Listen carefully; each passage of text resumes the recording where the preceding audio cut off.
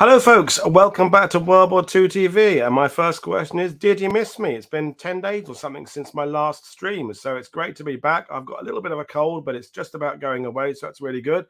So I'm glad those of you who are regulars, you waded through some of the back catalogue over the last few days when I wasn't doing live streaming. So it's really nice to see some comments on some of the older shows being rediscovered and recirculated. So that's really good.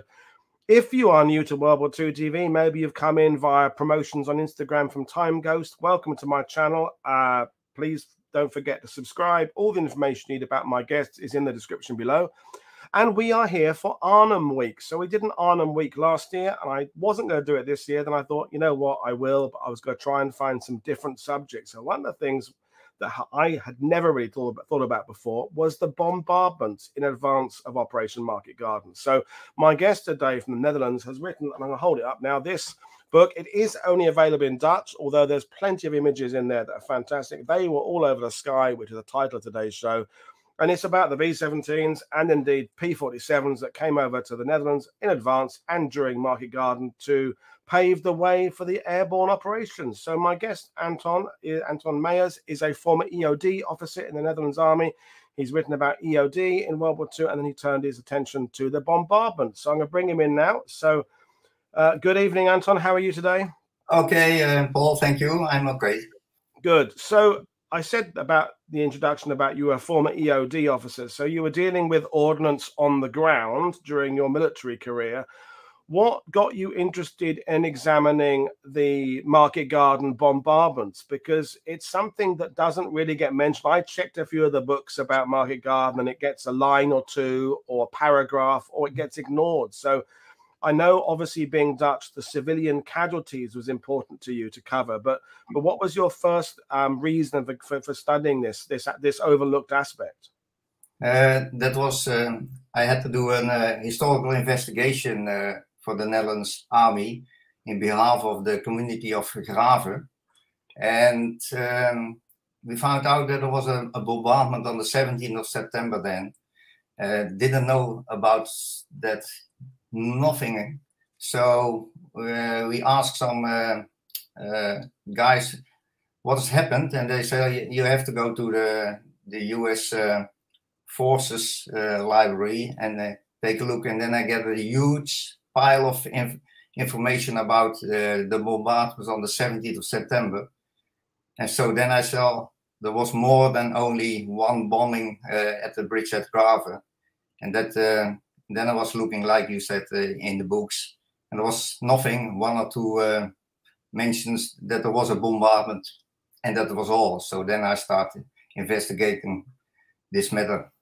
And so well, the, well, we're glad. We're very glad you did, and I, I, hope that at some point the book will be available in English. Uh, if in, in the meantime it is available in Dutch, and the link to the Flying Pencil, which is the website where the publisher uh, has has it listed, is in the description below. But I, my guest Anton has come with a massive, great PowerPoint today with loads of images, so we've got plenty of stuff to go through. So I'm going to hand over to Anton now for the presentation, folks. For those of you watching, I think there's so much detail in this presentation you won't need to ask questions because i, I bet this, the question you're going to ask will come up in a slide of you uh, down the line. So what we'll do today is we'll kind of do questions at the end. If you have any big big questions about the bombardments and how it affects the operation we'll do it there. But feel free to jump in with questions if you want but i'll hand over to anton now and i will jump in every now and then with with a couple of comments. But we could talk about the bombardments that were happening of course well, just had already been up underway 78 years ago at the beginning of this week. So, so over to you, Anton. Okay, thank you. Uh, first, uh, excuse my English because that's not my uh, native uh, language. So, Paul, maybe you uh, have to uh, step in sometimes for a word or two. But it's fine so far. Okay. Um, the American bombardments during Operation, Operation Market in September 1944. Um, there's my book about. And uh, why this book? Uh, yeah, we mentioned already before. It's only uh, uh, in literature a little bit. Um, and for the Netherlands, it was the largest uh, number of aerial bombs dropped in one operation, in one single operation. Uh, and the targets was not one, but were 122 different aiming points dispersed over the Netherlands. And they were deployed by heavy bombers, the B-17s. uh, against very small targets, and that were flak targets, eh? so uh, German anti-aircraft deployment, maybe as large as a half football field. So very small targets for very heavy strategic bombers. Um, my presentation will cover a, a, little bit about the first meetings, the air support meetings for Operation Market. Um, because I'm a EOD officer and also an ammunition technician, I have to talk about the bombs and the rockets that were used by the B-17s and the P-47s. And then a little bit about the, the operation order himself. And then what maybe is very interesting is the routes flown by the first and the third uh, bomb division. Um, because there were 122 areas to bomb, that's too much. Uh, of uh, 42 areas, 122 aiming points. Uh, I will um, cover 12 of these areas in this uh, PowerPoint. Uh, and then we will see what the results were uh, by the B-17s and the P-47s, the losses of these airplanes, and of mm-hmm. course the civilian casualties, as far as have, I have found out. So let me start with the presentation. The first air support meeting uh, for Operation Market was uh, at the headquarters of the Allied Expeditionary Air Force rear at uh, Bentley Priory. Mostly know that Bentley Priory is uh, the, the area where the um, Battle of Britain was fought out, uh, the headquarters, uh, Royal Air Force Stanmore. And the first meeting was on the 12th of September at 1600 hours. Um, you see the participants were United States Strategic Air Force, Royal Air Force Bomber Command, Allied Expeditionary Air Force, Air Defense of Great Britain, 8th Air Force, 9th Air Force, 2nd Tactical Air Force, Coastal Command, and of course, uh, 1st Allied Airborne Army, and some others. And the picture you see on the right side is not from that meeting that was somewhere in uh, in August, but uh, it will have been the same um, setting, I think. Mm-hmm. Um, at his first meeting on the 12th of September, uh, there was announced that the first airborne landings were scheduled for the 23rd of September. Uh, and then they um, they did some discussion: should it be an, a night um, uh, airborne operation or day airborne operation?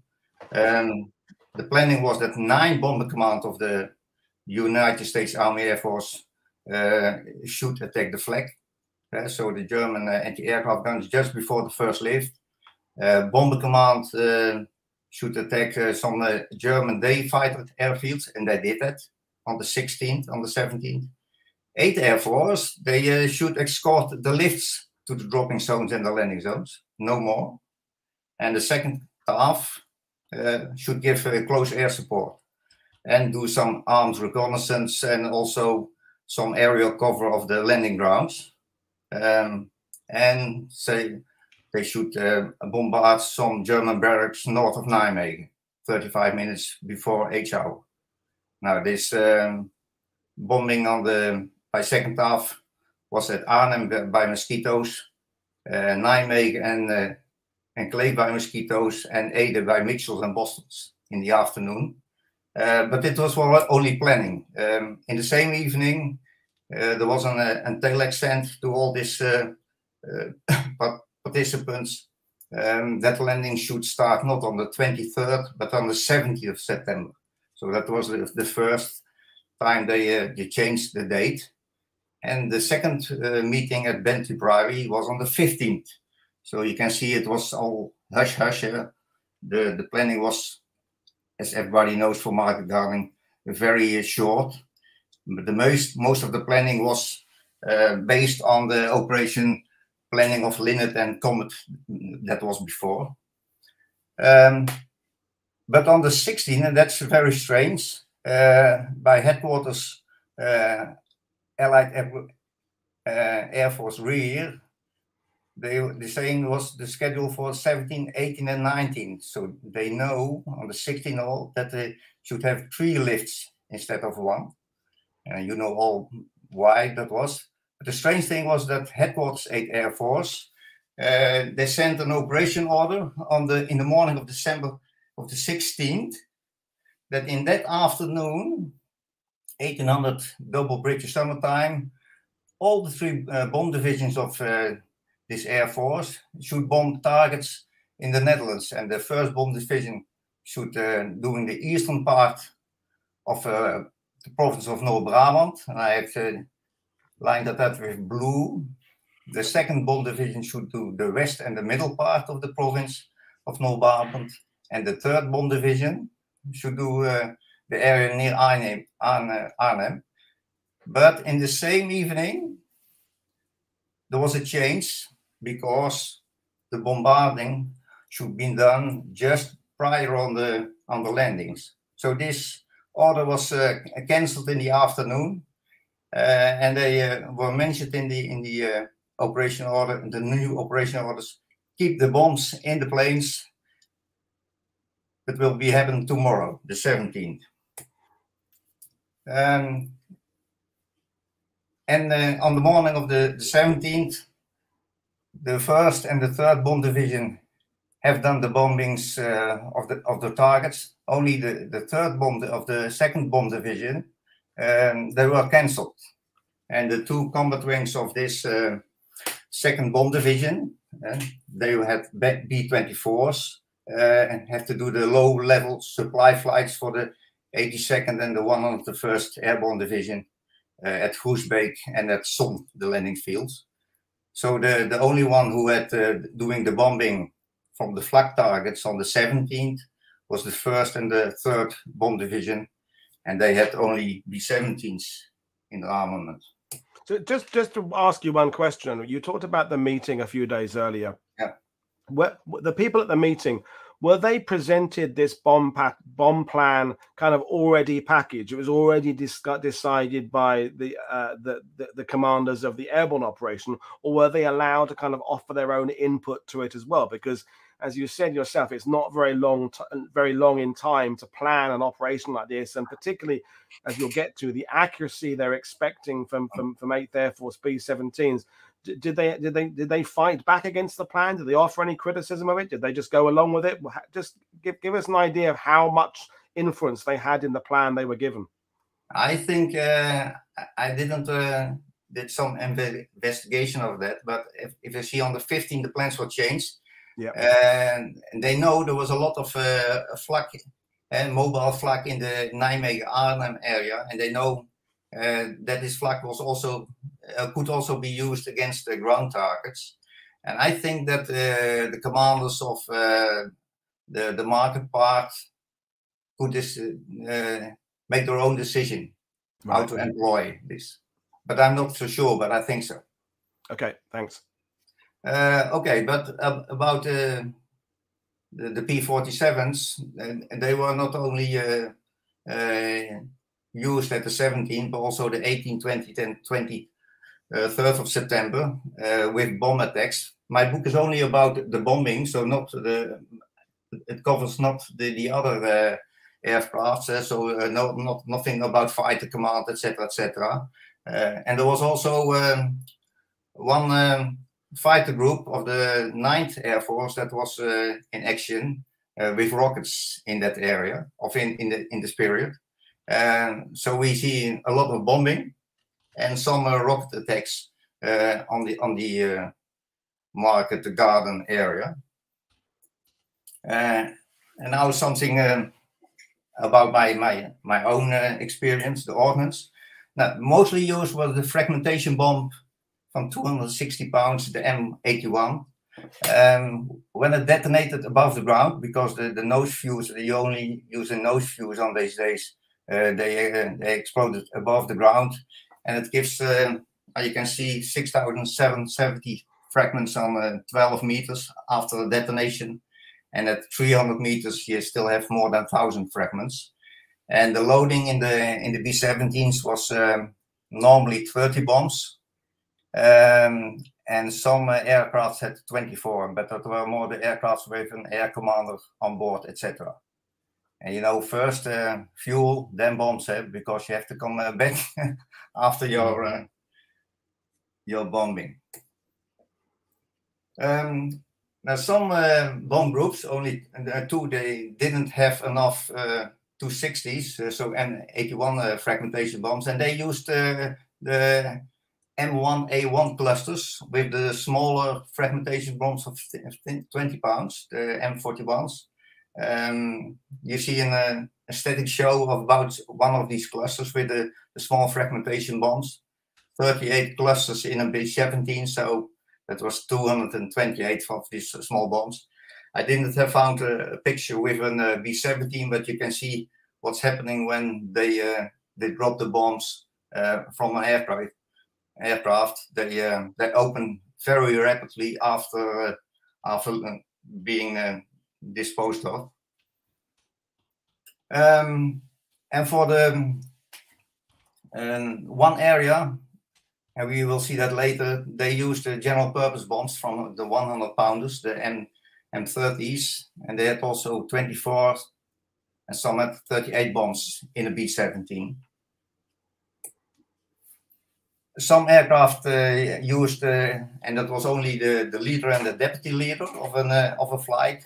They used the Skymarker. Uh, that was a chemical bomb uh, filled with titanium tetrachloride. I hope I say it pronounce it okay. And the typically of that that stuff is when it uh, and it comes in contact with um, um, the the air, it goes over in uh, titanium dioxide and hydrochloric acid, and we see that as a white smoke. And they were not used to to mark the the aiming point, but they were only used to uh, to give a signal to the rest of the the, the bombers to drop the bombs. It was only a sky marker from, okay, the, the leader has dropped his bomb. Now you have to drop your bombs also. Um, titanium tetrachloride is uh, uh, very poisoned, so I don't think that guy know what he was doing on that moment, and he was filling these chemical bombs. Um, two bomb drops. They have to drop also um, some leaflets and you see there on, uh, the leaflet that was used. Um, and they were dropped at Eindhoven and uh, at uh, Westervoort near Arnhem. Uh, every uh, Monroe bomb, as, as, that bomb was known, uh, was filled with 10,000 leaflets at the number T151. Um, it's typically 10 bombs in, a B-17, 20 bombs in a total, a lot of leaflets, and I never found one in the Netherlands. Never saw one. It's very strange. But they are dropped uh, um, on, on the 17th. And now the P47s. Also the same uh, fragmentation bomb, the 260. Two bombs uh, uh, under each aircraft. Um, they used also the, the cluster M4. And the M4 had uh, three fragmentation bombs, M40. And that's also the, the same 20 uh, pounds fragmentation bomb only with a parachute unit. Um, they didn't like this uh, type of uh, clusters because uh, a lot of times the, the, the parachutes opened during the flight, and when the parachute was opened, the the fuse was armed, and uh, a lot of uh, explosions have occurred in the in the past. But they they were used on the 18th of September by the 56th bomb group the picture on the right is somewhere in uh, in uh, Southeast Asia, but then you have an idea how the employment was of these uh, small uh, fragmentation bombs. Um, some fighters that were only these from the 9th Air Force, they uh, they dropped general purpose bombs of uh, 250 pounds and the general purpose bombs of 500 pounds, two under each aircraft. So each wing had one. Um, but they have also used on the 18th of September uh, the chemical bomb 100 pounds filled with white phosphorus. Each uh, P-47 had two of these bombs uh, under his wings, uh, and in the, on the right uh, that's uh, with a Skyraider somewhere in Vietnam. But you see the effect when a chemical bomb with, filled with white phosphorus, uh, P, detonated um, it's not so fine. I uh, I have to understand. Mm. And also the napalm bombs that were used. on the 7th of September by the 56th Fighter Group in the uh, Apeldoorn area. And um, the fire bombs filled with napalm is in uh, the normal uh, drop tank from paper, 108 gallons.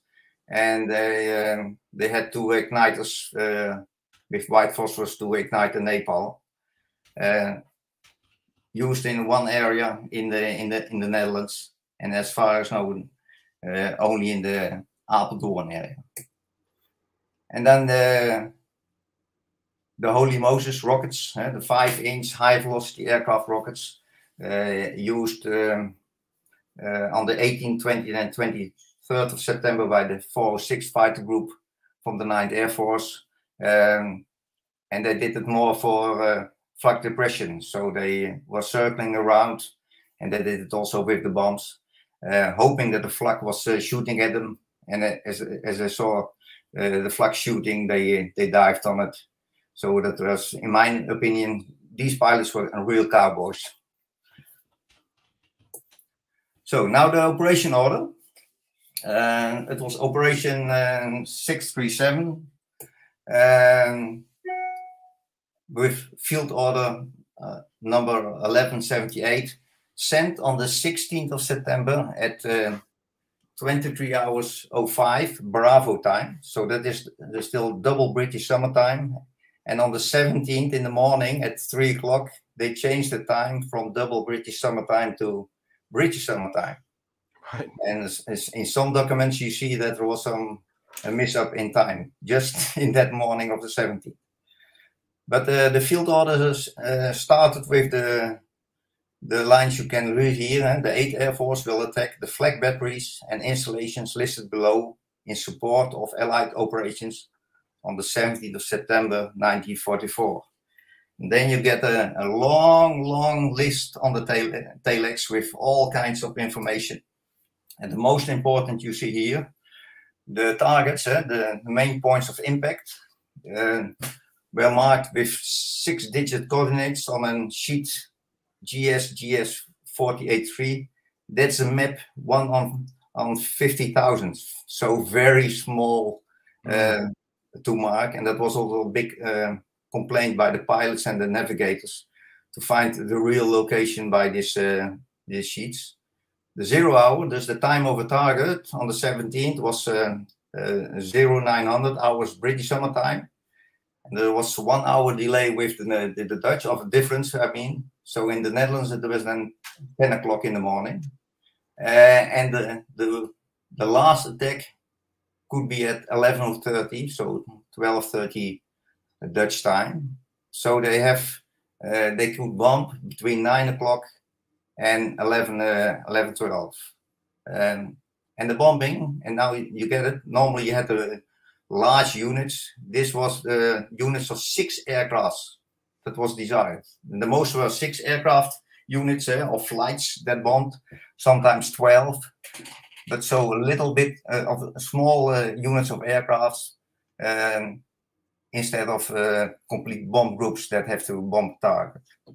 So, so just to interrupt. So we're, we're talking now already about the the, the, the units going doing something different to what they were normally doing. They they they don't normally use 150,000 scale ground maps. They don't normally fly in sixes or twelves. They normally fly in in, in different in, in, bigger formations. So this is suggesting to me, and you can correct me if I'm wrong, that this is being planned by the people who are normally on the ground. This is coming from the the, the, the ground forces planning this rather than it being done by, you know, we talk about other operations, the people at the top, the Doolittles and the Quesadas and people like that who, who kind of know what they're doing. We've talked recently, Anton, about Operation Cobra and some of the bombing in, involved in that. This this this it's, it sounds a cliche given how much else went wrong with Market Garden. This doesn't sound a very well put together plan from, from my point of view. Yeah, this uh, it's correct. Uh, it's only the, the, the, big difference was the uh, you see it in, in yellow. Eh? Uh, they have to identify the the targets, eh? and they have to, to make a, a good visual run.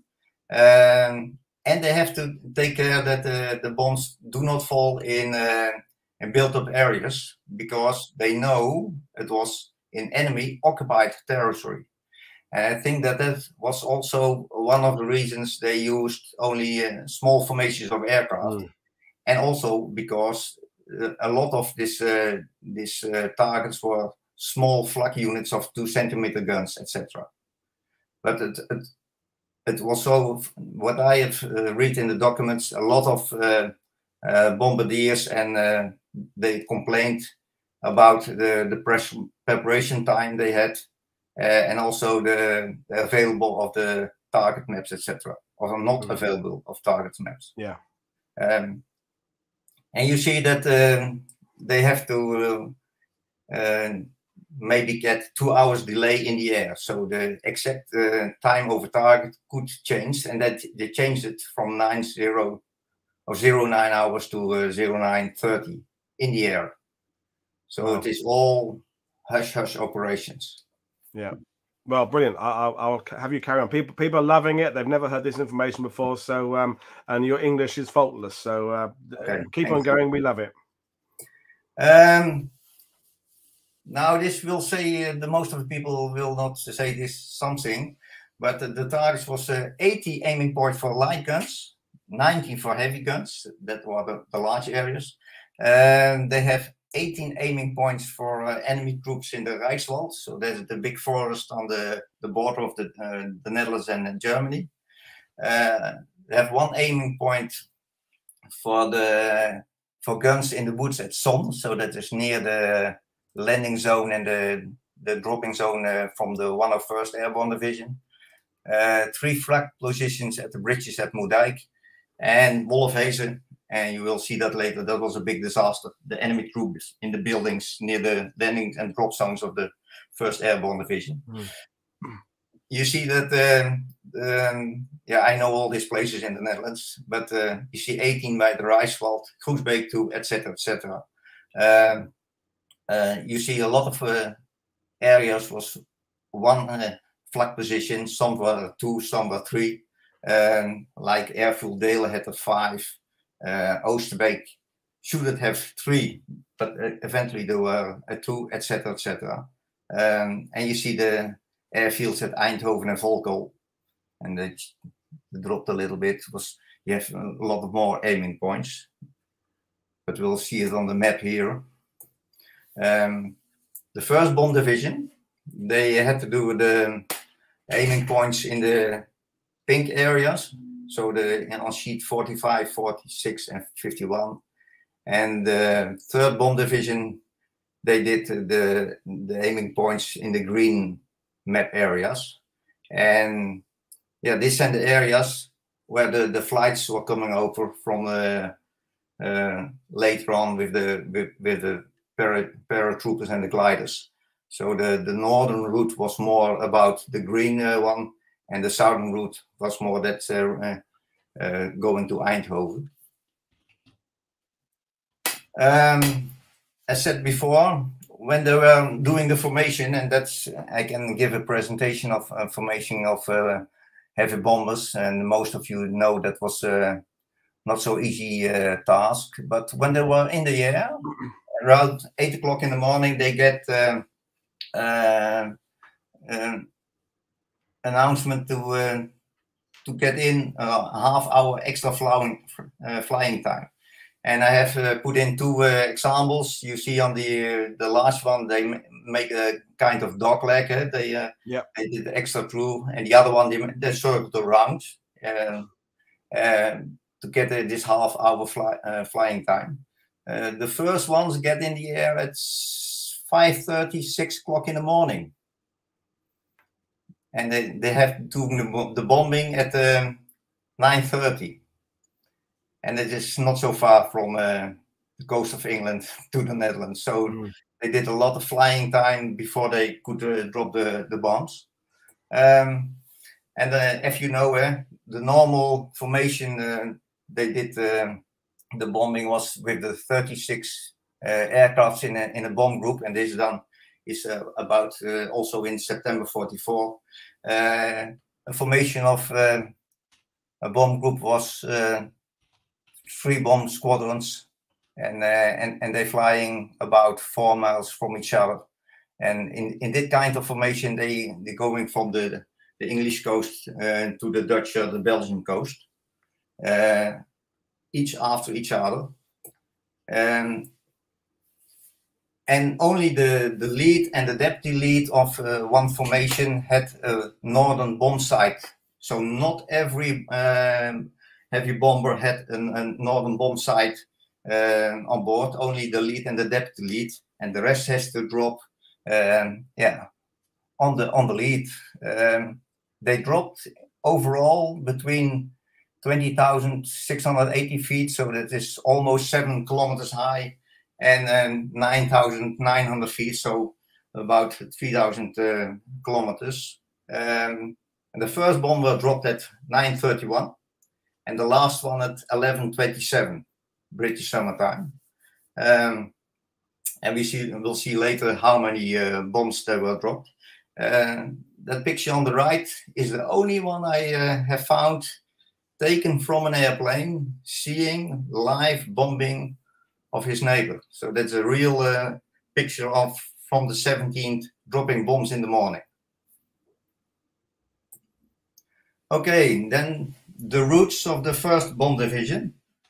Um, the first uh, going from uh, Clacton on Sea to Belgium was the uh, 94th uh, Combat Bomb Wing. That were 139 aircrafts uh, from uh, three, three bomb groups. And they flew to Ostend in, um, in Belgium, then to Nijvel, and from there to Nederweert in the Netherlands. And Nederweert, that was the initial point. So they start the bomb run with a little bit of evasion actions if necessary to the, Reichswald. So that is on the border of the Netherlands and uh, and Germany on the southeast of uh, Nijmegen. And after that, or one one example, um, when they did the bomb run, dropped the bombs, they made a right turn and going back almost the, the same uh, route they come in. And this is an example of the mm-hmm. 457th uh, bomb group. And you see the red one, a little bit uh, difference as planned. But yeah, that's uh, real life. Eight minutes after the this bomb group, the 40th uh, combat bombing was coming in with uh, 100 aircraft. So that's a complete bomb stream coming in. The same route to Neerpelt. And from there, they, they separated to Volkel Airfield and to Grave, to the, the, the, famous bridge at Grave. Dus uh, at the initial point, they're starting to, to wave out of each other in, in six uh, aircraft formations. Then six minutes later, the 31st combat bombing. Uh, and they had the initial point at Leopoldsburg in Belgium. And there they split out to Son and uh, to Oostelbeers. Uh, and another one, they're going to Turnhout and then start the uh, bomb run to 's-Hertogenbosch and Hedel. And all these airplanes made also a right turn uh, back on the same route back to England. So it was very busy in the air, I think. And the last one from the uh, first bomb division was the first combat bombing, 84 uh, aircrafts, and they uh, they flown to Vliegveld Eindhoven, so uh, Eindhoven airfield, with uh, 84 aircrafts. Are any of these routes similar to routes these bomb groups had flown before, or are they completely new for this operation? Because obviously, by this point of 1944, they're they're daylight bombing targets across Europe. So, is it based on normal routes, or is it completely different? complete, completely new. Okay. Because uh, yeah, the initial points uh, from the, in in Belgium uh, and and in the south of the Netherlands were all directed uh, with an, uh, a bomb run to the north. Yeah, and normally they have to uh, they flow to to Germany. Okay. Okay. Thanks. Um, now some examples of the bomb attacks. As said before, I, I cannot uh, show them all because then we have a couple of hours uh, this evening. Um, the first one is the Reichswald and surroundings. So on the on the you see here in red the aiming points, and the dots is where the bombs have fallen. Um, they dropped uh, 3,081 fragmentation bombs on this uh, on, on, on these uh, flak positions, um, and on the they thought German troops in in the Reichswald, so in the in the in the Rijksforest on the on the border of the Netherlands and in the and, and Holland. And on the picture you see uh, the dots after the after explosion of the of the fragmentation bombs.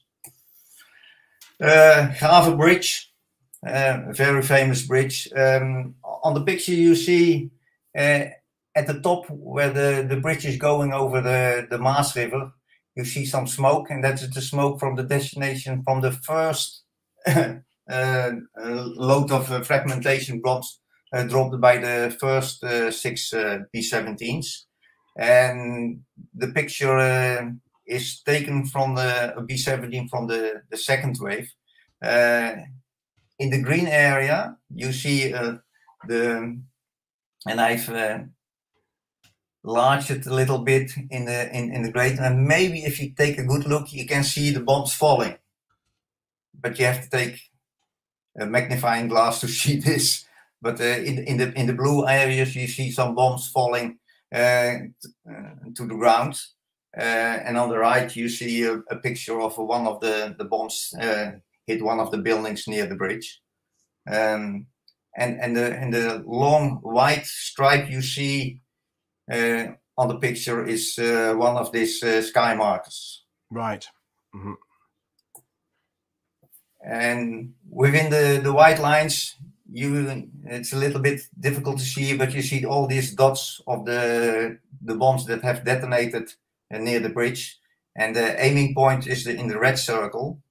Um, so only the the first load has uh, hit the target. The rest was uh, yeah, to the north. And this is a picture is made at the 17th, and there are also uh, some pictures made on the 19th. And then you see on the road a lot of uh, Allied vehicles uh, going to Nijmegen. Mm. Eindhoven Airfield, also Oosterweers and Son. Um, in red, the aiming points. Uh, in green, some areas that have been bombed, but were not an aiming point. Um, and Eindhoven, you see, the, they had a lot of uh, aiming points for flak on the on the airfields themselves. Um, and in the in the in the top of the the, the map, you see the aiming point for uh, the Son Son area near the uh, landing grounds of the 101st Airborne Division. Uh, one picture of Eindhoven. You see some bombs falling in the in the green area, and in the red you can see some detonation. Um, dropped on Eindhoven airfield, so on the flak positions, more than 2,000 fragmentation bombs and 152 cluster bombs and 10 leaflet bombs. Um, and, and, what you see, uh, all the all the uh, bomb craters on the ground, that is from the Royal Air Force bombardment uh, from the Bomber Command on the August and September 1944. So right. that has nothing to do with 17th of September. Um, but also some uh, built-up areas uh, at Kobik at Sils, that is near the airfield, were hit by uh, fragmentation bombs. And in the red, you see the detonation of the bombs, and in white, you can see the dots of the the, the first bombs that have detonated. And and in uh, in Zeelst, 18 people were killed by these uh, fragmentation bombs. Um, and you see one of the pictures of the the burial of uh, 17 of them. Uh, yeah, that's uh, what they call in, in these days collateral damage, I think. Yeah, yeah, yeah. Um, the lead flights from the 306th, uh, they had an, an, aiming point at the Volkel, uh, but they couldn't find the, uh, the aiming point, so they moved to Eindhoven airfield and dropped uh, some 330 fragmentation bombs and 10 uh, bombs. Uh, on the left, you see Volkel, also bombed on the on the in August and uh, September before, and on the right you see Eindhoven.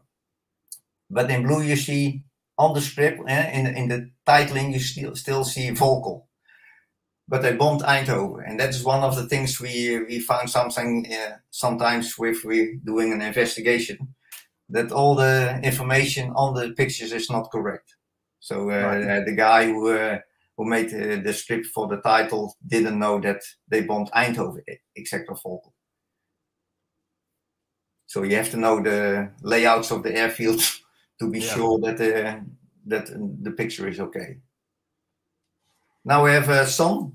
Uh, in the north of uh, this uh, area with enemy troops were the landing fields of the 101st and some flights of the 303rd and the 384th bomb group they have to, to bomb within this in this half square um, here you see the detonation of um, 540 fragmentation bombs uh, dropped by the 308 bomb group uh, on, on the on the edge of the, the field.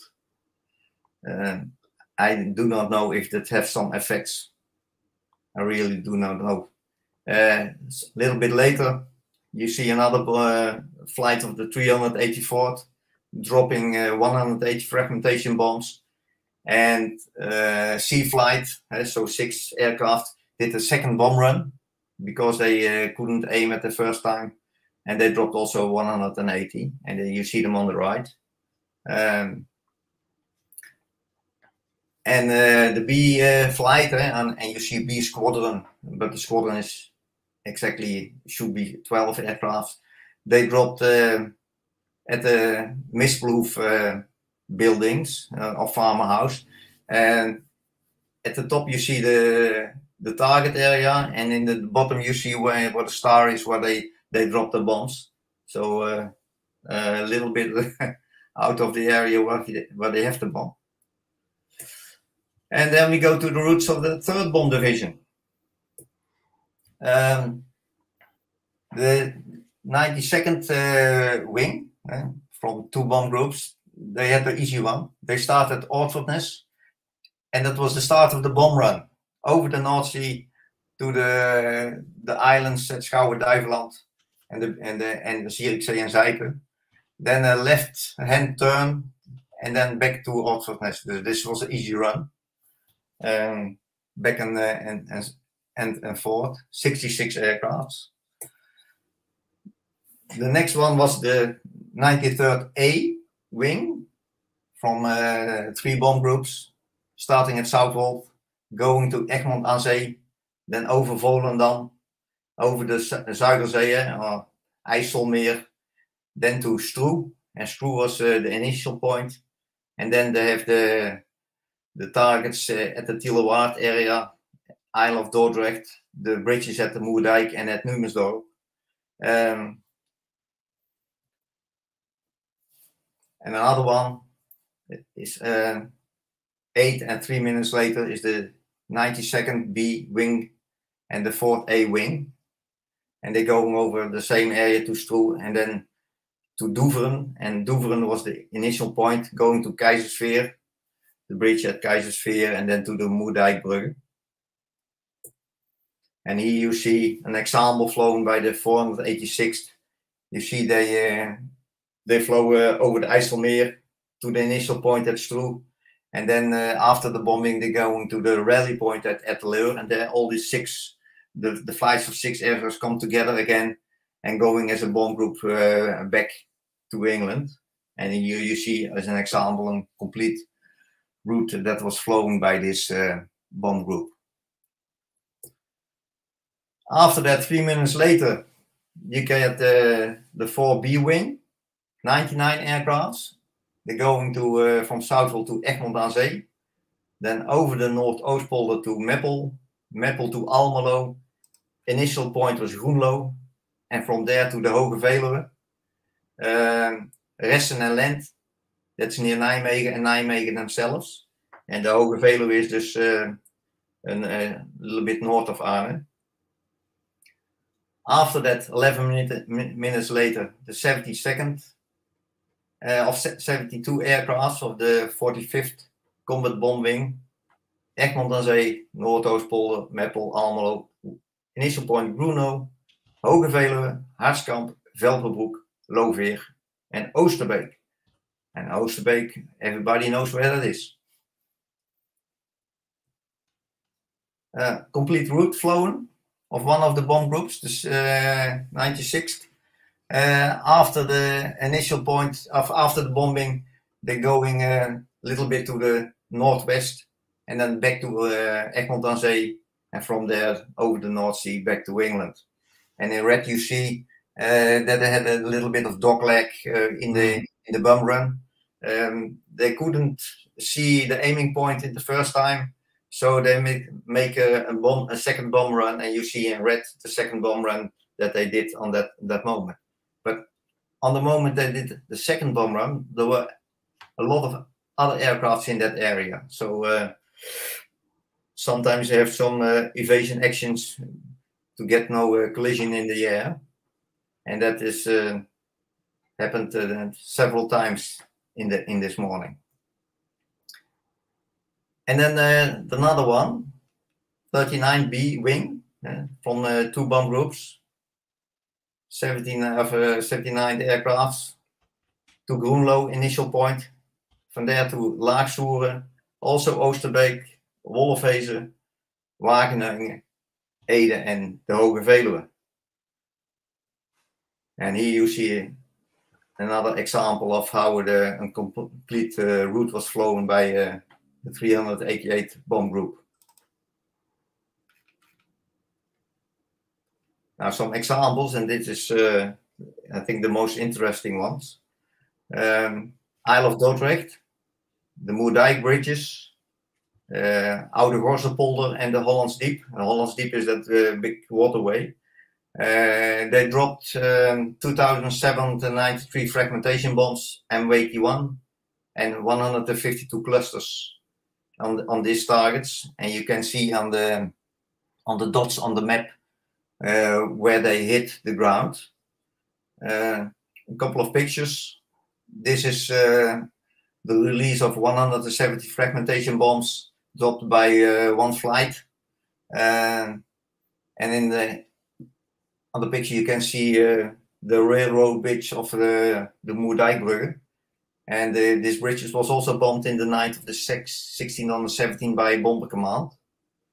Um, and on the title you can see that they were flown, uh, flying on uh, 19,500 uh, feet high. and here you see the impact of the bombs. Hmm. That's what you saw here. This is the bombs going down. Yep. And here you see the impact. Uh, this is a nice one. 170 uh, uh, typing uh, failure in the in, in the text. I see fragmentation bombs dropped, uh, and you see that uh, one of these bombs had a, a scarf on it. It is a, a, cloth of a very bright color because they didn't use sky markers. But this is from a, a picture taken from the, the B-17 of the deputy lead and this was a marking for the rest of the, the, the bombers to drop the bombs because they could see this very bright color scarf on one of the bombs. Wow. Yeah. Never saw it before. And here you see the detonation of the, the bombs. And in, in the blue is the is the aiming point. That's a, a little flak position of uh, three two centimeter anti-aircraft guns. So they just hit it. Um, not so bad. Then Deelen Airfield. Uh, that was the uh, the airfield for the 52nd uh, Lowland Division. Yeah. But uh, that never happened. Uh, these flak positions were uh, bombed by 1,556 fragmentation bombs. Only in the in the yellow, the circle on the on the the other one that was uh, put on the spot, but the real uh, flak position was in the north. So if you make a six-digit uh, uh, map figure and you uh, you set one figure wrong, yeah, you get wrong uh, aiming point. Mm. Um, two examples of pictures taken during the the bombardment. In red, you see the detonation of fragmentation bombs, and in white, you see the clouds from bombs that already had detonated. And also here, so uh, a lot of uh, craters on the airfields from the um, bombing by bomber command before. And in blue, you see an outline of a, a large, heavy anti-aircraft uh, position. And in green, if you take a good look, you see some uh, uh, fragmentation bombs uh, going to the earth. How are we doing with the time, Paul? It's fantastic. No, I just just keep going. It's brilliant. Yeah, it's I'm loving it. Okay. Uh, then the Loveer.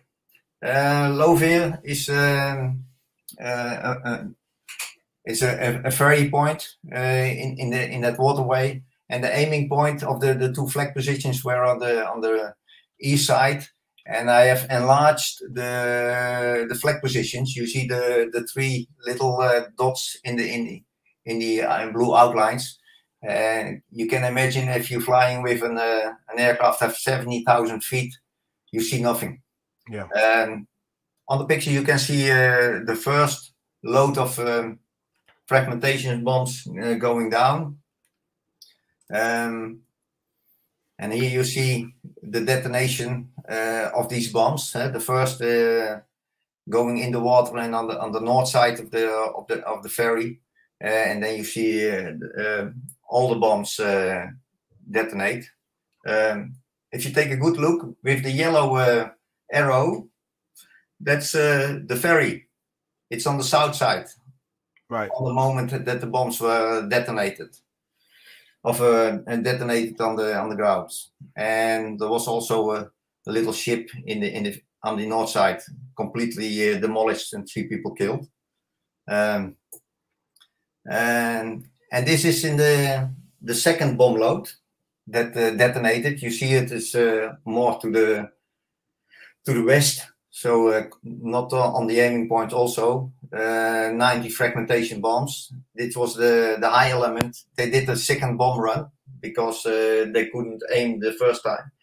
And you can see the ferry is on the north side.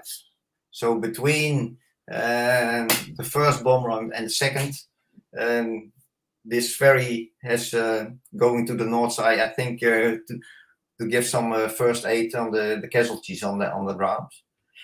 But uh, locally, everybody uh, tells and uh, write about three bombardments.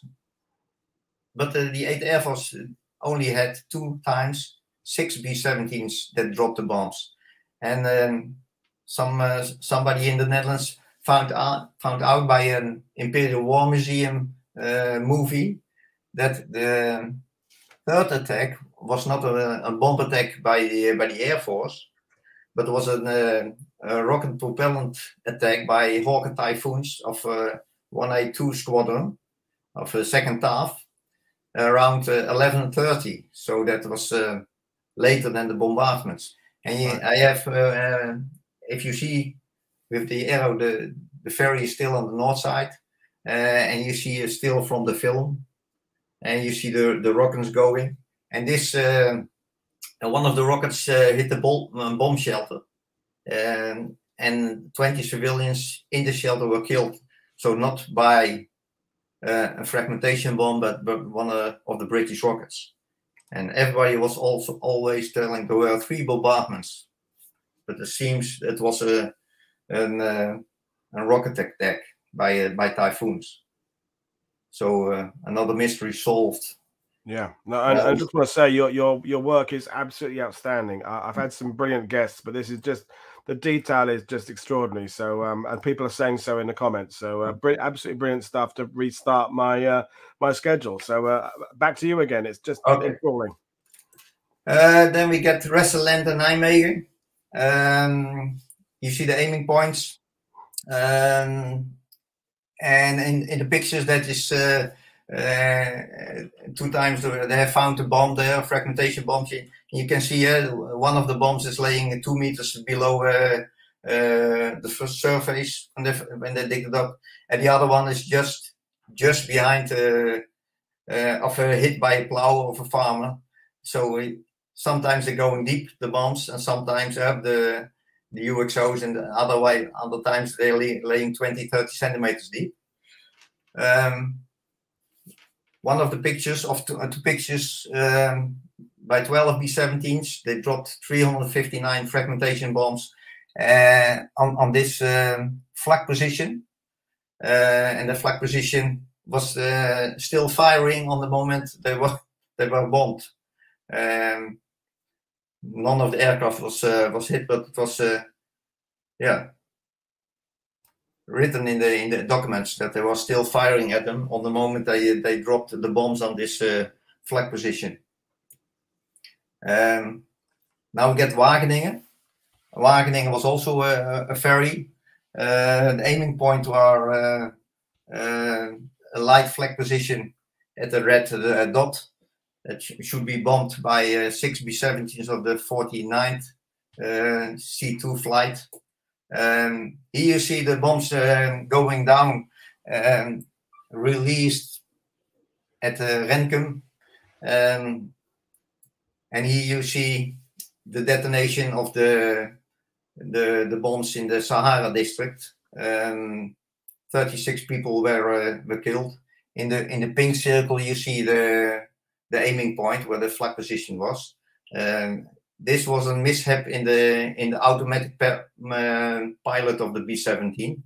Um, from the 36 people that were killed in this Sahara district, from one uh, of the women, no remains have been found till now. But uh, she's still uh, uh, missed. But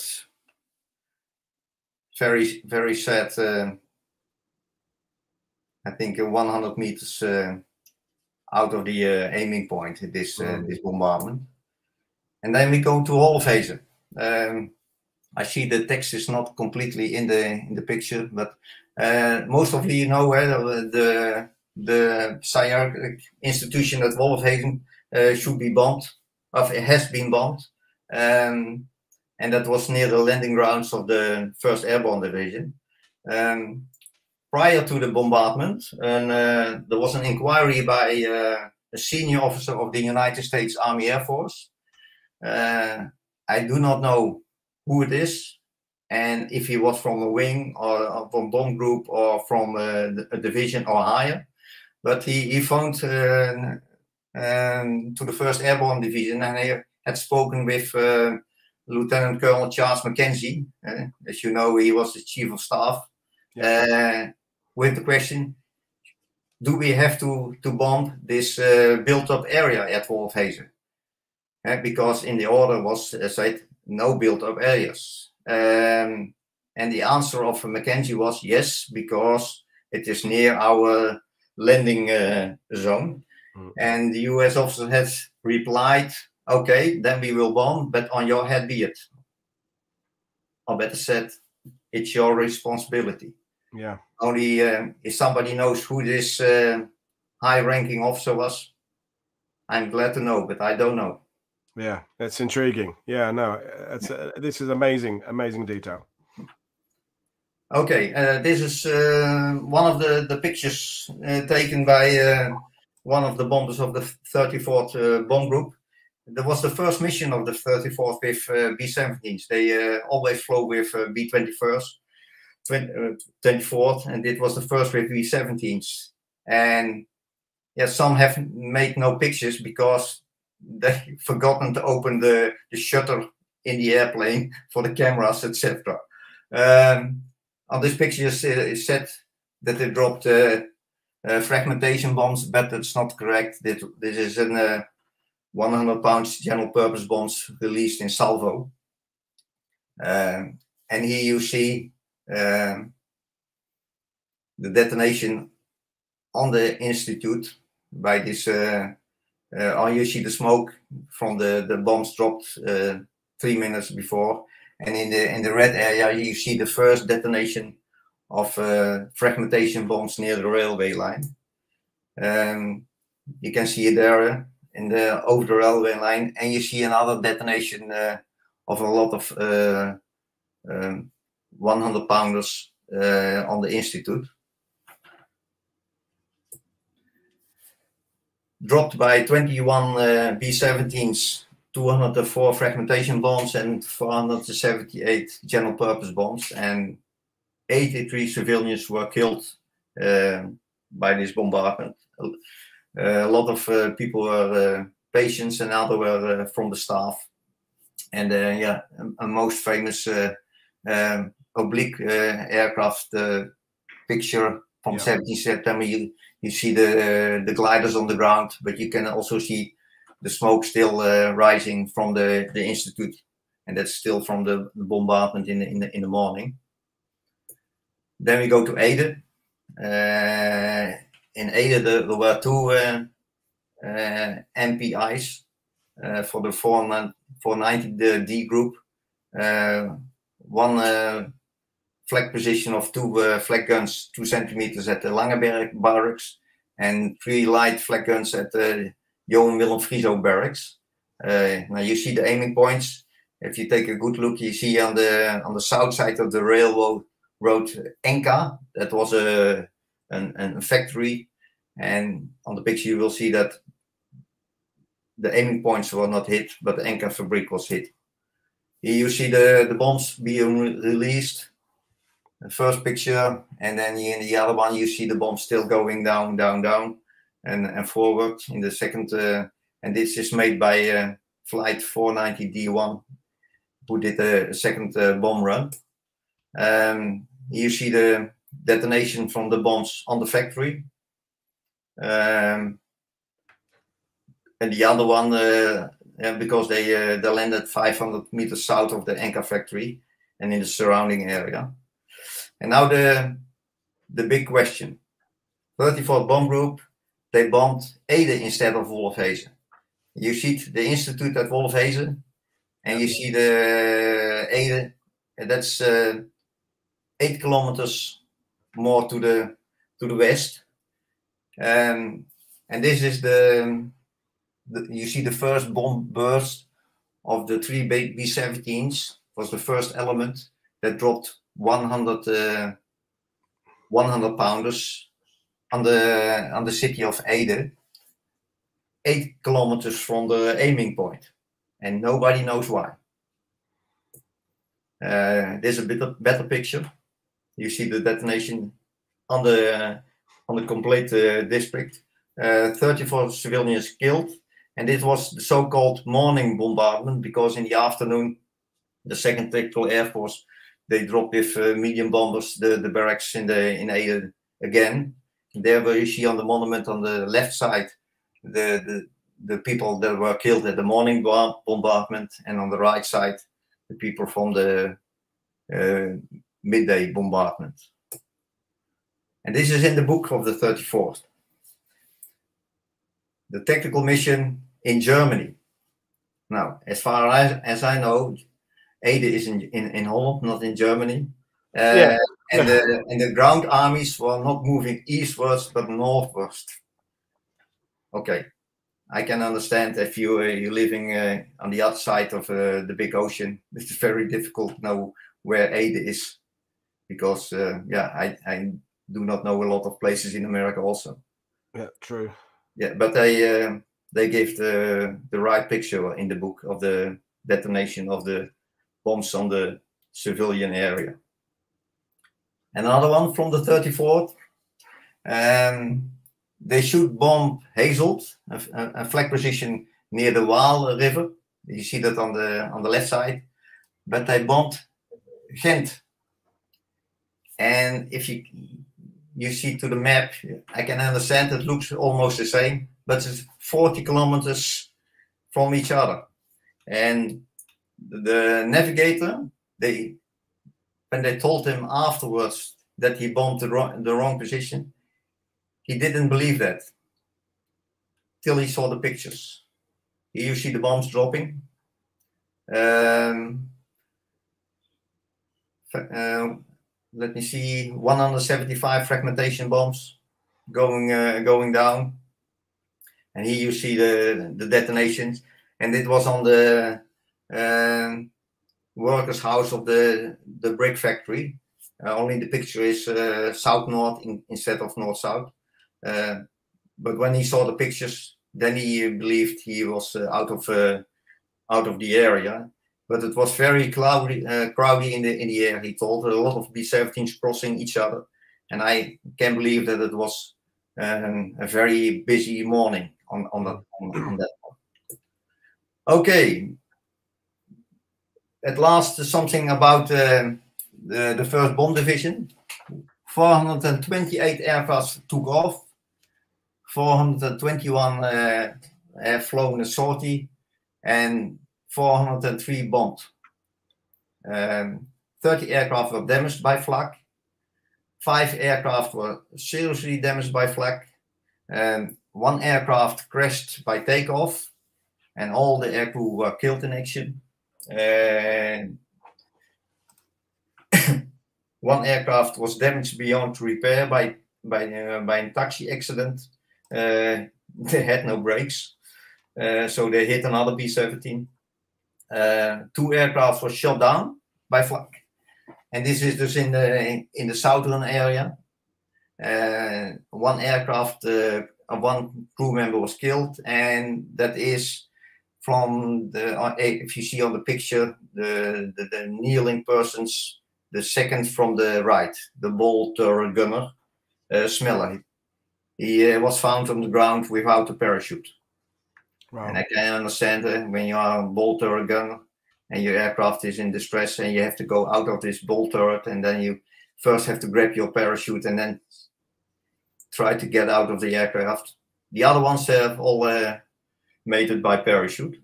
Uh, and one aircraft, but it was not uh, uh, had an immersion landing in Belgium, but is repaired and is later flown back to England. Third Bomb Division, 448 aircraft took off, 442 uh, flown a sortie, 431 uh, bombed, and they give no only uh, in, in, in the statistics there's 75 aircraft with flak damage. And now the results. Um, as told before, uh, I think uh, it worked. Um, they had uh, 120 uh, main points of, in, uh, of impact, dus 120 aiming points. They attacked 112, and the first bomb division um, had 44%, and the third bomb division 49%. Uh, and they fell within the standard distance of 1000 feet. Normally, it should be in that time 67%. Mm. And why is that? Because normally you have a big formation with one lead bombardier and one uh, deputy lead. And now you have a lot of small formations of six aircraft. So you have more uh, unexperienced bombardiers. Right, yeah Yeah. and that's one of the the main thing and because the the, the, the target areas were very very very small yeah um technically yeah for the if you know what the circle error problem is that is when you get 50 percent uh, within uh, what's the distance of 50 percent of your your hits within the aiming point. point first bomb division was 960 feet and the third bomb division 930 feet, and normally it should be 750 feet. So also the circular error probable is a little bit larger than normally in that time. We, we, uh, just, we had a question from the Great Dominion about the atmospheric conditions. Now, in the photos you showed, it looked like the weather was pretty clear. We didn't see much cloud in those images. But what about the atmospherics? Is there anything in that that can explain some of the uh, the errors? Um, the, the most of the, the parts they, they had a, a little of non-clouds. Only in the in the in the Arnhem uh, area, uh, more to the northeast of Arnhem, they, they had a lot of uh, cloud area. Um, and because they they you, you saw it on that one picture, um, mostly they used a little bit of oxygen, not too much because it was not so high they were fl uh, flying, uh, and they only uh, bombed visual with the with, with the not the bomb the, so not on on radar etc etc. Right. So it was all manual bombing.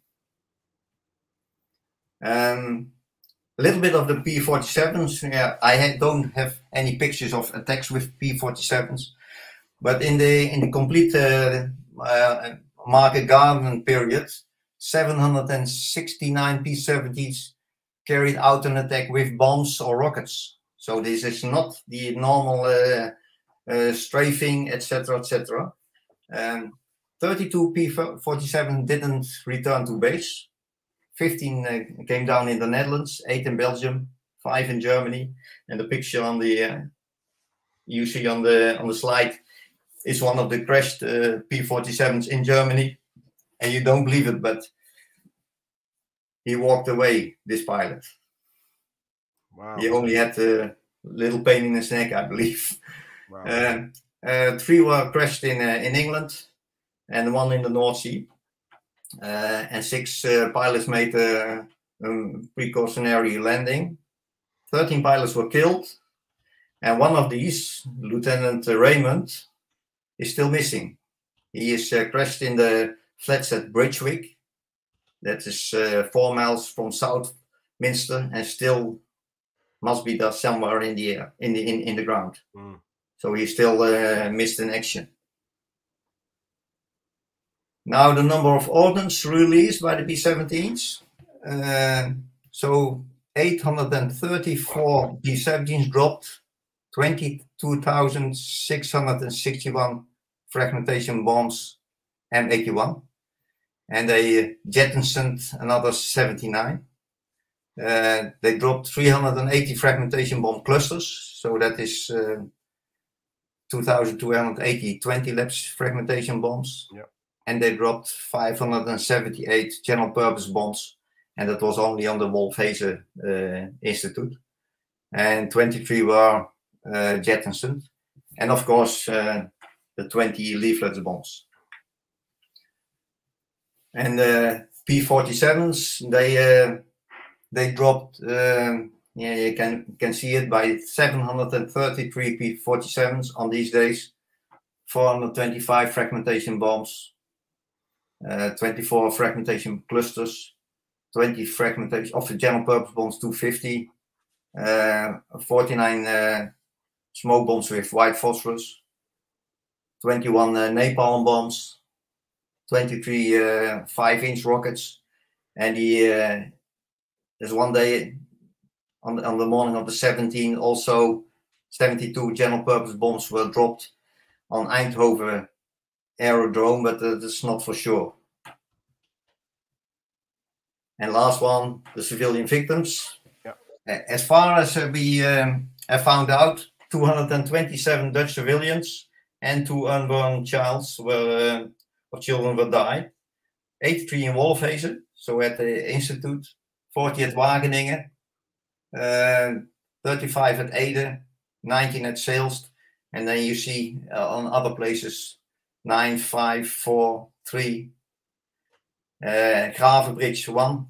And in yellow is Amersfoort. And Amersfoort, that was by uh, the P47s.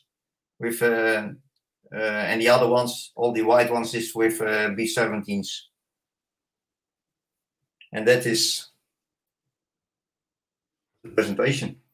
Well, I mean, absolutely brilliant. Um, the level of detail has been incredible. So, um, to round things off, my question is, you know, we're going to be talking later this week. We've already talked about Market Garden as an operation, the who, where, you know, where it went wrong, who, who how it could have been planned better. It's the, it's an endless discussion for military historians. But from your point of view, having studied the the bomb plan, is there any way that this bombing plan had influenced the outcome of the battle differently? Is there something they could have done? Is I mean, you you said before we went live how they did suppress quite a lot of the flak on that first day. I mean, yes. does that lend weight to the fact that the air transport plan should have brought more aircraft across on the first day and less in the in the in the in the later lift? Is there any conclusions that you'd like to offer us about about how the bombing plan connects with the bigger operation?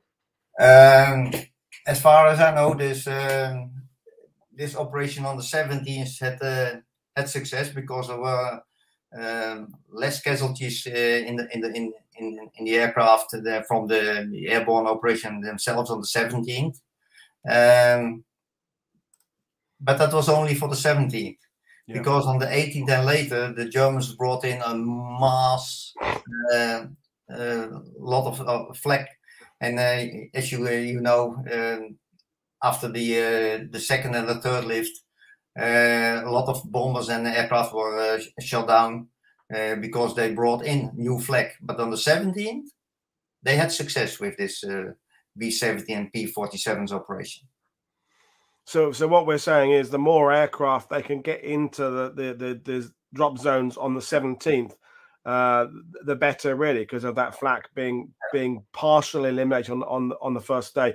We had a question on it, which I, I will try and find again. But Great Dominion asked, was the intention with the with the bombing to uh, to destroy the flak positions or suppress and kill the crews? Because with the fragmentation, the suggestion was you're not going to necessarily knock out the guns, but it was it more about killing the crew and and suppressing? Do you think? Uh, I I think killing the crew, but also knocking out the guns because if you see the uh, what the fragmentations uh, with the high velocity they were, think, uh, they, they could knock out the gun also but mostly it was uh, yeah, trying to get out the guns and also the personnel.